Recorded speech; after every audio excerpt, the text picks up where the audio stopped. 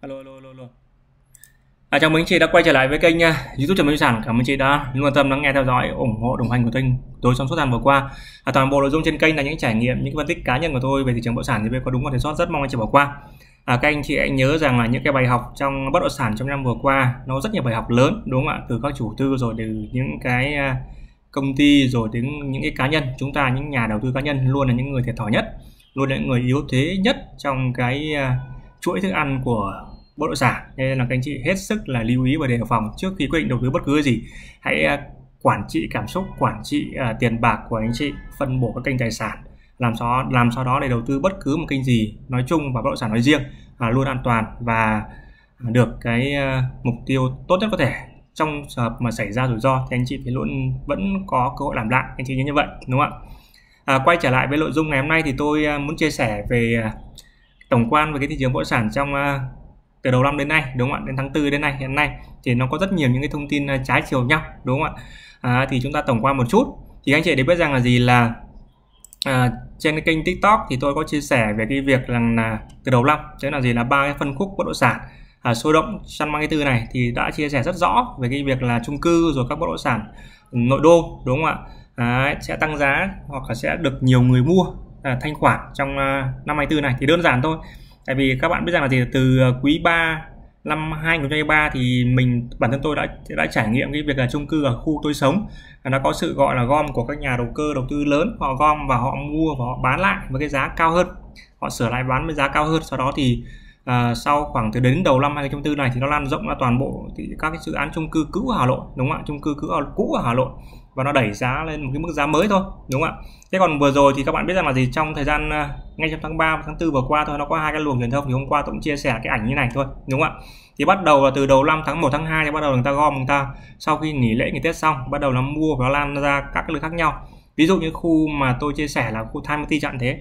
Có thời điểm là giá nó cao hơn Roy City, xong là bây giờ Roy City lại cao hơn Time City, đúng không ạ? Và một loạt các cái chung cư cũ tăng giá thì các bạn đều biết rằng tôi đã khẳng định rất nhiều lần cái việc rằng là gì là lãi suất thấp đúng không ạ? Cộng với việc là vàng tăng. Rất nhiều người họ sợ lạm phát họ sợ mất giá đồng tiền. Đấy, và trong cái đó kinh tế vĩ mô khó khăn thì người ta rút một phần tiền những người còn tiền họ rút một phần tiền ra để mua bất động sản thôi đúng không ạ? Và đương nhiên là thời điểm này thì họ sẽ chọn những bất động sản mà có giá trị có pháp lý có an toàn thậm chí là có dòng tiền nữa. Thì đấy là chuyện đương nhiên. Như vậy là gì? Chung cư cũ tăng. Thì đương nhiên là khi mà chung cư cũ tăng là cái hàng sơ cấp có những cái người mà có nhu cầu hết sức ở thật thôi đúng không ạ? À, họ nhu cầu họ mua thật và họ đầu tư thật thôi chẳng có vấn đề gì cả. Đấy và các bạn biết rằng là ví dụ một cái tòa chung cư mà đã ở rồi mà ở phun dân rồi ví dụ 500 căn một tòa chẳng thế thì chỉ cái lượng mà giao dịch mua bán thì cùng lắm chỉ 5 10 căn một tháng thôi đúng không ạ? Cho nên đương nhiên là cái số lượng nó không nhiều. Vậy từ vậy vậy là gì? Là khi mà một tòa nó cái nguồn cung nó hạn chế khi mà mua bán hết 5 6 căn ấy rồi thì họ mua lại họ sẽ muốn phải đẩy giá lên đúng không ạ? Thì trong khi đẩy giá lên thì báo chí họ nói như này rất nhiều người nói như này thì đương nhiên là người mua họ sẽ tâm lý FOMO họ sẽ mua vào. Đặc biệt là những người mà đang cứ trông chờ vào mọi giá rẻ để mua thì họ sẽ quay ra mua. Thì mua thì như vậy thì tâm tác động tâm lý đến các bạn mua giới. Các bạn mua giới sẽ cho tenant sale gọi các chủ nhà nhiều hơn. Thì các chủ nhà thì bây giờ có phải người làm có tiền để mà chuyển nhà đâu đúng không ạ? À, có phải người nào cũng có tiền chuyển nhà có người có người nào có chuyển để đổi nhà đâu thì họ sẽ đương nhiên họ sẽ muốn rằng là gì là à, hôm nay là giá bao nhiêu thì họ hỏi lại. Thế bây giờ họ sẽ muốn cái giá mong muốn người ta như nào đúng không ạ? Thì đẩy giá lên. Thì khi mà cái nhu cầu nó lớn mà người bán không có dự án mới không có thì đương nhiên là gì? Nó sẽ bị chênh lệch nhau giữa nguồn cung và cầu đúng không ạ? Đó. Nguồn cung và cầu. Và từ những cái tiếng vang nhỏ ví dụ à cái tòa này vừa bán một căn ví dụ 50 triệu mét hạn thế thì toàn bộ cái tòa đấy dân trong đấy. À, nó bây giờ nó thông tin rất là nhanh các bạn đúng không ạ? Đó. Thì nó sẽ đẩy cái giá cả cái tòa ấy lên được đúng không ạ? Đẩy cái tả cái tòa thậm chí cả khu vực cái lên. Mặc dù doanh không có thì đấy là các bạn hiểu là đấy là bản chất của vấn đề. Thực tế là có những căn à, có giao dịch đúng không ạ? Có các giao dịch nhưng mà số lượng không nhiều bởi vì đây là hàng thứ cấp đúng không ạ? Thế vì cả tòa mà đã ở rồi thì có ai bán cả tòa đâu năm sáu trăm căn đâu đúng không ạ? Thì khi mà nguồn cung nhiều hơn à, thì quan trọng nhất thì tôi vẫn nói đây tôi nói thống nhất quan trọng nhất là gì? Là nó tạo được cái bánh đà tâm lý quay trở lại cho những người mua đúng không ạ? Thì cái việc này nó tốt cho cả chủ cho cả các chủ tư sắp tới mở bán các dự án đúng không ạ? Tốt cho những cái người mà đang à, gọi là cần tiền để giải ngân đó tốt cho cả những ngân hàng đúng không ạ? Ngân hàng thì cho vay được đúng không ạ? Rồi tốt cho cả thị trường khi mà cái tâm lý bánh đà quay trở lại. Thì bạn biết là đấy là các chủ tư rất là quan trọng các chủ tư họ mở bán mới có dòng tiền mới. Đợt vừa rồi là Vin mở bán là Vũ Yên dạng thế đúng không ạ? Thì vấn đề về trái phiếu hay là vấn đề về lợi sống ngân hàng hay là vấn đề lo là mất thanh khoản được giải quyết dần lên. Quan trọng là cái tâm lý nhà đầu tư trở lại. Thì tôi nói rằng là gì là chung cư. Đó, thì các bạn thấy rằng là ngay từ đợt vừa rồi thôi. Đây hai cái luồng truyền thông khác nhau đúng không ạ? Tháng 3 thì vẫn nói rằng là chung cư tăng giá chóng mặt rồi cẩn trọng vân vân. Tôi cũng rất một tôi cũng đã trả lời báo chí vài bài và đã chia sẻ trên trang cá nhân cho anh chị rồi. Đúng không ạ? Chủ nhà quay xe loại cha nhưng tháng tư thì nó là giá ảo rồi số liệu không thật. Đúng không ạ? Tại vì thực tế là bỏ số lượng rất là ít là đúng rồi. Đúng không ạ? Đấy, vì đây là những dự án cũ chung cư cũ. Thì chúng ta phải hiểu bản chất như vậy. Đúng không ạ? Đấy, tự nhiên các dự án trong nội đô tăng giá thì các cái dự án vùng ven tự nhiên là thành giá hợp lý trước đây có so sánh là vùng ven là bằng xem xem với giá nội đô chẳng thế hay là xem xem các cái quận uh, trong uh, trung tâm chẳng thế. Nhưng bây giờ thì sao? À, trong nội đô nó lên một mặt bằng giá mới thì đương nhiên là sẽ đẩy cái giá gì? Đẩy cái giá lên đẩy cái giá vùng ven thành hợp lý đúng không? thế đấy là cái bản chất đầu tiên thì tôi muốn chia sẻ như vậy. Thì truyền thông trong giai đoạn vừa rồi thì nó cũng chỉ có như vậy thôi. Đó thì chúng ta phải hiểu bản chất như vậy. Cái thứ hai nữa rằng là để chung cư có bong bóng hay không thì thưa anh chị là chung cư không có bong bóng. Hiện nay cái số lượng chung cư mà để mà đáp ứng cho nhu cầu người ở là gì? Là gì ạ? Là không đủ, đúng không ạ? Là không đủ, đặc biệt là các thành phố lớn, đúng không ạ? Cho nên là không có chuyện là bong bóng chung cư, vì chung cư đa phần ở đây là những dự án đã có hình thành rồi, có sổ rồi và có người dân ở rồi, đúng không ạ? Người ta mua giá cao thấp này, đấy là cái chuyện của người ta thôi không. Cái số lượng nó phải quá lớn thì mới bong bóng. Thì cái việc này chúng ta thấy rằng là gì? Là các bạn biết rằng là chúng tôi bản thân tôi cũng hay so sánh thị trường bất động sản Việt Nam với thị trường Trung Quốc nhưng nó có cái sự khác nhau. Đó là Trung Quốc thì đi tròn năm chu kỳ rồi tức là họ đã phát triển ở cái mức là vượt bậc rồi chuyển sang công nghệ sản xuất rồi. Đấy, và bớt phụ thuộc bất động sản. À, nhưng Việt Nam chúng ta thì khác chúng ta vẫn đang ở giai đoạn phát triển. À, hiện trong mấy năm vừa qua thì các chủ tư chủ yếu là phát triển các bất động sản trung và cao cấp đúng không ạ? Thế là cái lượng người nghèo tiếp cận được bất động sản rất là ít, khó. Bản thân tôi rất là khó để mua bất động sản ở Hà Nội Hồ Chí Minh đúng không ạ? Thì đa phần trong năm năm vừa qua đa phần là những người giàu họ sở hữu bất động sản. Đấy, sở hữu bất động sản đúng không ạ? Những căn các bạn thấy là gì? Là à, những cái dự án thấp tầng. À, vẫn bỏ hoang đúng không ạ? Bao nhiêu năm nay vẫn bỏ hoang đúng không ạ? À, thấp tầng vẫn bỏ hoang rất là nhiều. Nhưng mà người ta vẫn mua giá vẫn tăng. Thì chúng ta phải hiểu là bất động sản nó có hai cái giá trị. Đấy, là giá trị tăng giá và giá trị sử dụng. Đấy, còn những đa phần là những cái người nghèo chúng ta như tôi chẳng như tôi các bạn thì là chúng ta quan tâm giá trị sử dụng. Là cái nhà này phải hợp lý với tiền của tôi với thu nhập của tôi thì tôi mới mua được, thì đấy gọi là giá trị sử dụng. Đúng không ạ? Chúng ta mua về ở, chúng ta chưa có đủ tiền để mua đầu cơ tích lũy. Đúng không ạ? Còn với những người họ nhiều tiền rồi thì họ, các bạn biết là như đợt này nhận thế như đợt này mà người ta sợ lạm phát, người ta sợ tiền mất giá, đúng không ạ? Tỷ lệ giá đô tăng rất là cao, vàng tăng rất là cao, thì họ sợ mà lãi suất thấp. Thì họ sợ mất giá thì họ đương nhiên là sẽ trú vào bất động sản, mặc dù cái ngôi nhà này không ở, thậm chí là bỏ hoang nhiều năm, nhưng sau một thời gian nó lại gì? Tăng giá. Thì các bạn phải hiểu như vậy, bản chất là như vậy, đúng không ạ? Thế còn là thì nói lại câu chuyện là chúng ta có dự án các bộ dự án mai không thì chúng ta chưa có đúng không ạ? Vì nhu cầu ở của chúng ta rất là lớn. Đấy, kể cả các thành phố nhỏ lẻ quanh Hà Nội thôi các tỉnh địa phương khác thôi đúng không ạ? Đó thì còn rất là lớn. Thì càng về lâu về dài các bạn đều biết là gì là chỉ có đất gọi là không có giá trị sử dụng. Đấy, hoặc là đất bỏ hoang thì mới không có giá trị thôi đúng không ạ? Còn kể cả sau này có đánh thuế thì những cái bất động sản mà có giá trị sử dụng có người ở nó vẫn có giá mà đúng không ạ? Đó. Thì đất nước chúng ta là đất nước mà đang, gọi là, được dự trù là phát triển tầng lớp trung lưu và thượng lưu nhanh nhất. Đúng không ạ? Trong cái khu vực mà châu Á thì những cái sản phẩm cao cấp kia có vẻ là đang đợi dần. Thì chỉ cần trong thời gian tới nhà nước siết lại những cái dự án chung và cao cấp, đúng không ạ? Hoặc là xây những cái dự án như Matera như thế. Các bạn biết là Matera thì hiện nay họ phát triển dự án siêu cao cấp, tức là dành cho người mà trên là người giàu luôn, đúng không ạ? Siêu giàu luôn. Đó, thì những dự án gọi là bình dân thì họ sẽ phát triển nhiều hơn trong thời gian tới. Mấy năm vừa qua là phát triển trung cao cấp, đúng không ạ? À, Matera đưa hẳn với một phân khúc là siêu cao cấp. Thì trong tới những năm tới đây thì họ sẽ phát triển những sản phẩm phân khúc vừa hơn cho những người mà chúng như tôi và các bạn có thể mua được nhà ở. Thì đấy là cái mong muốn. Thì như vậy là gì? Là nó sẽ hợp à, với cái cái gọi là cơ cấu của dân số xã hội. Người giàu người nghèo người siêu giàu đều có nhà để ở và mỗi người có mục đích khác nhau. Thì các bạn phải hiểu là như vậy đúng không ạ? Đó. Hà Nội hiện nay chính ra các giá chung cư Hà Nội hiện nay ấy, thì còn cái số lượng gọi là là siêu cao cấp nó còn ít đúng không chắc, chắc chắn là trong thời gian tới thì Hà Nội phải phát triển nhiều các dự án siêu cấp dành cho người siêu giàu ở nữa. Đúng không ạ? Tại vì chúng ta thấy rằng là những cái người mà có 500 một nghìn tỷ thì họ phải mua cái gì chứ? Không sao là mua đất nền hay là mua chung cư được? Họ phải mua siêu chung cư họ phải mua siêu biệt thự họ mà mua siêu nhà cao tầng gì đó đúng không ạ? Thì là cái đối tượng đấy thì tôi cũng chưa đến nên tôi không biết. Đấy thì Việt Nam thì nó khác với Trung Quốc là như vậy thì từ đầu năm đến bây giờ nó diễn ba diễn ra diễn biến rất là nhanh rất là nhanh. Thì đa phần như tôi nói một cái video phân tích là bất gọi là sóng ngắn bất động sản. Là vì lãi suất suất vì tiền ờ, gọi là tiền rẻ hay là tiền trong ngân hàng à, tiền tiền tiền mà người ta rút uh, tâm lý người dân đẩy ra thì họ mua thôi. Hiện nay thì cơ bản những cái gì xấu nhất ví dụ tỷ giá này rồi là vĩ mô thế giới kinh tế thế giới rồi là kinh tế loại trai thì cũng đang diễn ra rồi. Thì tôi vẫn bản thân tôi vẫn đang kỳ vọng là những cái gì xấu nhất thì nó sẽ đến những cái bắt đầu những cái thứ mới đã bắt đầu quay trở lại. À, tóm lại là cái người mà còn tiền bây giờ thì họ vẫn cái tâm lý gọi là vừa phòng thủ vừa đầu tư. À, chịu chưa dám ai dám gọi là ôn in tất tay được. Thế nên là cái sóng nó ngắn nó tăng nhanh dồn dập. Cho nên là rất nhiều người hiện nay các bạn biết rằng là khi mà up bất động sản tăng giá sốt đất lên thì rất nhiều người lên mạng chửi.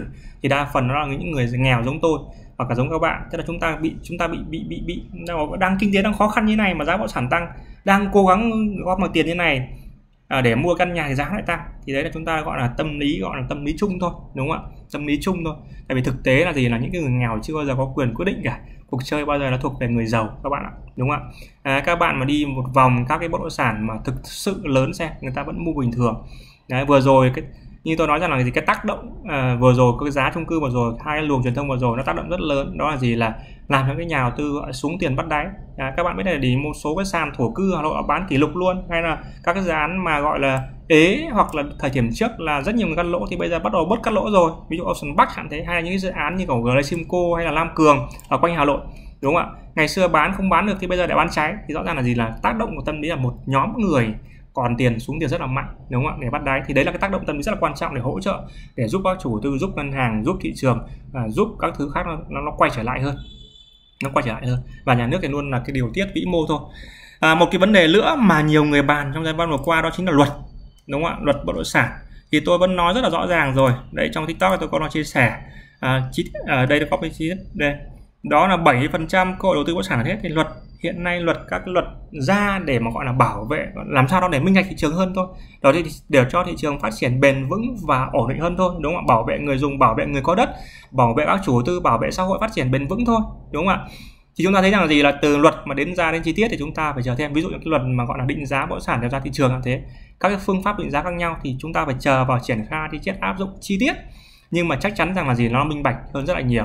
Nó bảo vệ tốt cho người dân rất là nhiều. Tôi nói ví dụ như này đó, các bạn thấy rằng một loạt vừa rồi thì Hà Nội có đầu tư một loạt các cây cầu hay là đầu tư công ấy, đúng không ạ? Tiêu chí đầu tư chúng ta hiện nay là tập trung vào thành phố lớn, các bất động sản giá trị và đón đầu các cái dự án đầu tư công lớn. Tại vì cái nguồn vốn đầu tư công chưa bao giờ là nhiều như bây giờ và nhanh như bây giờ.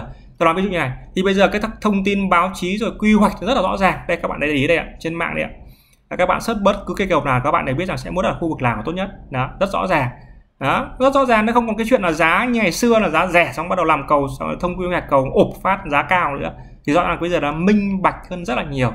À, quy hoạch rõ ràng à, cầu rõ ràng vị trí rõ ràng. Thì đương nhiên là cái giá bây giờ không thể rẻ nữa đúng không ạ? Thì lợi là lợi những cái người dân mà có đất xung quanh hai bên những cây cầu này. Thì họ cũng biết rằng là gì? Họ phải bán giá bao nhiêu? Đúng không ạ? Rồi là đất nông nghiệp đất đền bù theo giá thị trường thì nhà nước phải đền bù bao nhiêu thì chúng ta phải nó, nó rất là rõ ràng. Nó không như ngày xưa rằng là gì là à người nơi khác có thông tin đến ụp bô một cái đúng không ạ? Mua giá bị một hai triệu mà bán sau khi mà có khởi công bán 10 20 triệu thì bây giờ nó không còn như vậy nữa. Cơ hội đầu tư đó còn nhưng cái mức độ tăng giá nó không còn mạnh nữa. Đúng không ạ? Thì đấy chính là gọi tôi đây đây đó là một rất đơn giản cái việc là gì? Là cái cơ hội đầu tư rồi là cái luật rồi là cái minh bạch thông tin nó khác biệt hoàn toàn rồi. Thì những cái người mà có đất gọi là có cầu đi qua thì đương nhiên là có lợi thế rồi. Thì tội gì họ phải bán đúng không ạ? Trừ khi họ cần tiền. Hai là những cái người mà có đất nông nghiệp hay là đất uh, vườn chạy có cầu hay có đường xá cơ, cơ sở tầng chạy qua như này thì họ cũng biết rằng là gì là cái giá thị trường hiện nay là bao nhiêu được đền bù cái giá nó phù hợp với người ta đúng không ạ? Thì đến cái chủ đất nó sẽ hiệu quả. Đó. hay là gần đây nhất là cái vừa rồi là cái luật mà cấm phân lô bán nền. Các bạn biết rằng là gì? Đấy là một cái rất là quan trọng đúng không ạ? Thì những cái dự án bây giờ mới mở bán bây giờ thì phải xây hoặc là phải đặt đặt yêu, tiêu chuẩn cho phép mới được mở bán. Cơ sở tầng rồi là tiện ích pháp lý mới được mở bán. Và họ cũng cấm luôn các dự án phân lô bán nền một trên năm trăm. Như vậy là gì là tới đây là dự án phân lô bán nền sẽ rất là hiếm ở các thành phố lớn, ở các địa phương mà không cho phép, đúng không ạ? Thì nó, vì mấy năm vừa qua cho nhiều quá, thì cho nhiều quá bây giờ nhiều họ siết lại, đúng không ạ? Chúng ta thấy rằng gì là nhà nước luôn ở cái vai trò là điều mô ở điều điều điều hành vĩ mô và siết cái gì quá chúng ta siết lại. Ví dụ cái nhà ở cao cấp đang thừa thì cho siết lại, phải tập trung phát triển nhà ở gì? À, nhà ở xã hội hay là nhà trung cấp cho những người dân bình thường. À, thì chúng ta yên tâm rằng là gì là đâu đó chúng ta sẽ có cơ hội mua nhà trong thời gian tới. Nhưng mà đừng mong giá nó quá rẻ vì thực tế là không có thì như vậy được. Vì là giá đất khi mà tăng cao giá vật liệu xây dựng tăng cao rồi là, là giá lương tăng thì mọi thứ đều tăng đúng không ạ? À, bản thân chúng ta phải luôn cố gắng thôi thì đấy là cái mà chúng ta cần phải quan tâm. Thì minh bạch thông tin này. À, đầu tiên là rõ ràng là gì? Là trong đầu năm vừa ra truyền thông là tác động bánh đà tâm lý này rồi là có dự án mai không này rồi là có gọi là bong bóng chung cư không là không có. Đúng không? bạn nhớ như vậy là không có. Bây giờ chẳng có ai mua mà để mà vay. Bây giờ thời điểm này mà mua bán mà vay nợ quá nhiều thì không bao giờ khuyên đúng không ạ? Đa phần là những người còn tiền họ xuống tiền họ mua thôi. Nên cái chuyện bong bóng nó không có đúng không ạ? Dự án mới hiện nay mở bán rất là ít. À, các chủ tư bây giờ mở bán cũng cầm chừng đó, rồi là phê duyệt dự án mới là chưa có trong một hai năm tới là chưa có. Mà đầu tư công thì rất là lớn đúng không ạ? Đó. Thì rõ ràng là cái việc mà bong cóng chung cư là không có. Trong cái số lượng nhu cầu ờ, gọi là mua hay thật tới đây là cho thuê nhu cầu thuê rất là lớn. Nên là chúng ta yên tâm là không có bong bóng chung cư. Và giá thật giá ảo ấy thì không thật sự là không có giá ảo đúng không ạ? Giá ảo đây là những cái người mà thực sự họ mua tiền họ mua ra tiền thật. Là họ mua tiền thật.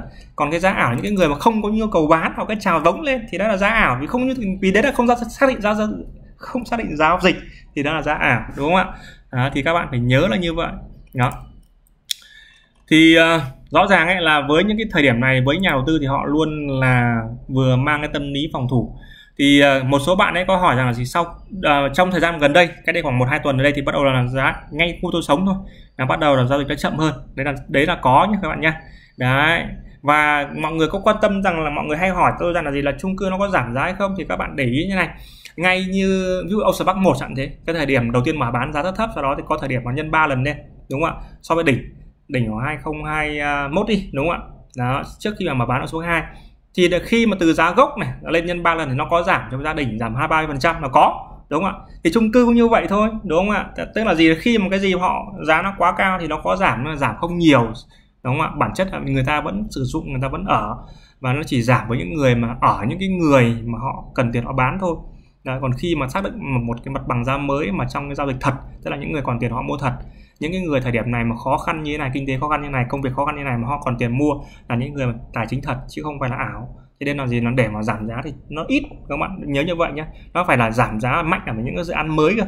Những dự án mới mà bán mà đẩy giá quá cao quá nhanh và lại không có người ở cơ thì mới giảm được. À, thì các bạn nhớ như vậy đúng không ạ? Đó thì nó khó thì hy vọng rằng là gì? Rất nhiều người hy vọng rằng là gì? Nó sẽ lan rộng. À, vừa rồi thì Hà Nội tăng một đợt à, ngắn trong ngắn hạn trong vòng khoảng 9 tháng đến bây giờ thì chậm đi ngang. Thì hy vọng là tới đây các chủ họ sẽ mở bán bám các cái dự án mới. Và tới đây sẽ là Hồ Chí Minh. Hồ Chí Minh các bạn biết rằng là gì? Là Hà Nội vừa rồi thì tăng các cái dự án chung cư. Tôi có cách đây vài ngày tôi có khảo sát ở Hồ Chí Minh. Thì bắt đầu giá à, một số chung cư ở Nội cũ so thời điểm so ngày xưa thì là bằng luôn. Nhưng tất nhiên là trong Hồ Chí Minh thì họ phát triển rất các rất nhiều à, các cái bất động sản siêu cao cấp như ở Ba Son chẳng thế hay là Thủ Thiêm hay là Sala thì giá chung cư đấy là 100 200 triệu là bình thường đúng không ạ? Nhưng mà các cái gọi là giá cũ ngày xưa ở Hồ Chí Minh thì giá nó vẫn chưa tăng mạnh. Và đất gọi là đất nhà gọi là đất đất, đất ờ, thổ cư ờ, các cái thành phố ví dụ Thủ Đức hay thành phố Hồ Chí Minh cũng chưa tăng mạnh so Hà Nội đúng không ạ? Thì đấy là một cái cơ hội hy vọng rằng là sẽ lan vào ờ, là gọi để tới Hồ Chí Minh. Vừa rồi thì các bạn biết rằng là trong Hồ Chí Minh thì có cái tập đoàn Novaland thì cũng rất là mạnh và họ bắt đầu được cởi trói dần để phát triển nó mà được trở trói dần để phát triển. Và cái đầu tư công ở Hồ Chí Minh năm nay cũng rất là mạnh. Các bạn biết rằng là gì? Là đầu tư công Hà Nội tám 81 ngàn tỷ. À, rất nhiều cái cầu bắc qua. Nhưng mà giá đất cũng tăng rất là nhanh nên có ít đầu tư ít hơn.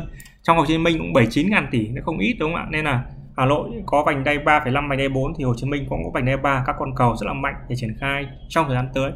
Và trong cái ờ, các bạn để ý là trong cái gọi là trên đây tôi dự đoán rất là rõ về cái việc mà xu hướng bất động sản rồi đúng không ạ? Trên à, trang à, fanpage Trần Mỹ Bất sản thì tôi đã chia sẻ rồi.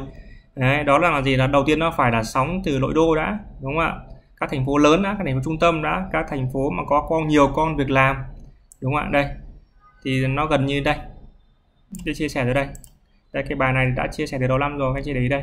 Đấy, giá thấp tầng rồi là bắt đầu đến du lịch. Vừa rồi thì uh, chúng ta thấy rằng là bắt đầu du lịch sắp đến mùa du lịch rồi. Đấy, vừa rồi Nha Trang thì ký đường bay thẳng đến Trùng Khánh thì hy vọng rằng bắt đầu du lịch từ Nha Trang có phục hồi. Bắt đầu phải những thị trường top 1 về du lịch như Nha Trang, Đà Nẵng hay là Phú Quốc hay là Quảng Ninh đúng không ạ? Thì nó phát triển đầu tiên. Thì hy vọng là sau giai đoạn này sau giai đoạn tới này thì, uh, sau cái giai đoạn mà thấp tầng Hà Nội nội đô Hà Nội rồi Hồ Chí Minh tăng trở lại nhà đầu tư quan trọng nhất là cái nhà đầu tư tâm lý trở lại thì đến bất động sản du lịch đúng không ạ? Và sẽ đẩy thêm các cái vùng khác à, đẩy thêm các cái vùng đất khác đúng không ạ? Thì sáng nay tôi cũng chia sẻ tốt lại, tóm lại là gì là cái quan trọng nhất, đó là cái tâm lý trở lại. Và các cái chủ, nó phải mua các, khi mà các chủ tư ra dự án mới, nó phải thành thanh khoản, đúng không ạ? Thị trường trở lại, đúng không ạ? Đấy. mọi thứ nó trở lại thì kinh tế nó mới à, phát triển được, đúng không ạ? Đó. Thì tổng năm, tổng quan à, đầu năm nó chỉ như vậy thôi. Tóm lại là chúng ta vẫn phải, để về đầu tư thì chúng ta vẫn phải à, phân bổ các kênh đầu tư khác nhau ra đúng không ạ? À, cái dự án nào mà có lãi chúng ta bán cái nào chúng ta chưa bán được thì chúng ta cứ để nguyên thôi thị trường chắc chắn nó sẽ tăng. Với mỗi một người có những người đầu tư ngắn hạn có người đầu tư dài hạn có người đầu tư tích sản nó khác nhau. À, vừa rồi thì một số anh chị có hỏi về việc mà đăng ký hội viên là trên kênh ấy thì tôi xin hướng dẫn thông qua video là luôn để anh chị để ý này. Đó là cái việc hội viên thì anh chị vào cái kênh uh, Trần Minh Bộ Sản trên kênh YouTube thôi nó có phần hội viên này này. À, các anh chị đăng ký hội viên thôi thì nó rất dễ. Để anh chị đăng ký hội viên thôi. Đấy, ở đây có những cái video dành riêng hội viên thì anh chị đăng ký thôi. Cái cái anh chị đăng ký bình thường thôi. Đó, rất là dễ thôi đúng không ạ? Thì anh chị hội viên thì anh chị được xem những cái video mà nó được private trước. Đấy. quan trọng nhất là anh chị ủng hộ những cái chia sẻ của tôi trên à, mạng xã hội thôi đúng không ạ? Các anh chị mà góp ý thì tham khảo là làm kênh tham khảo. Đó các anh chị đăng ký hội viên tham gia hội viên và làm theo hướng dẫn của YouTube. Đây là hệ thống của YouTube thôi. Thì một lần nữa rất là cảm ơn anh chị trong à, theo dõi video ngày hôm nay. Mọi thứ nó, từ đầu năm giờ nó diễn biến thì nó cũng gọi là, gọi trên truyền thông là chính. Còn thực tế thì vẫn à, gặp nhiều khó khăn nhưng nó cũng đồng hành cơ hội. Gọi là nó, cái cơ hội nó đến nhanh quá, nó gấp quá, nó vội quá, đâm ra nó không phù hợp tất cả mọi người. Nó phù hợp với những người đầu tư chuyên nghiệp, đầu tư mà có am hiểu. Luôn là như vậy anh chị nhé. Hẹn gặp lại anh chị trong video tiếp theo. Xin chào và gặp lại anh chị.